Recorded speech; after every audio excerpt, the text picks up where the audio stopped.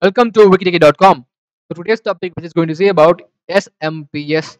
So what is the full form of SMPS and how does it play in computers? So if you want to read about SMPS, just navigate to this URL over here.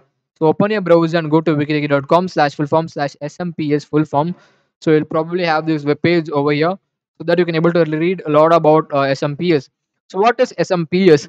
It stands for switched mode power supply or switching mode power supply. It is an electronic power supply that uses switching regulator to convert electric power efficiently. It's also called as switching mode power supply. Its power supply unit, which is also known as PSU, generally used in computers to convert the voltage into computer acceptable range.